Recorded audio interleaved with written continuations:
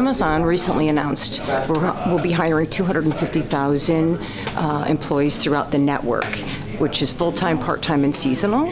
Here in Buffalo, we'll be hiring upwards of 500 individuals at our three operational sites, which is uh, the Returns and Sortation Center is in Lancaster. We have two delivery stations, which is one is in Tonawanda, and the third uh, or the second one is in Hamburg. We're very excited about this footprint. This is the first time we've been in the city of Buffalo, and this what we did is we did a zip code analysis and a deep dive into where our candidates were most present, where they were in the community. So this was this made sense, and this was uh, the best location for the candidates. We went to the people.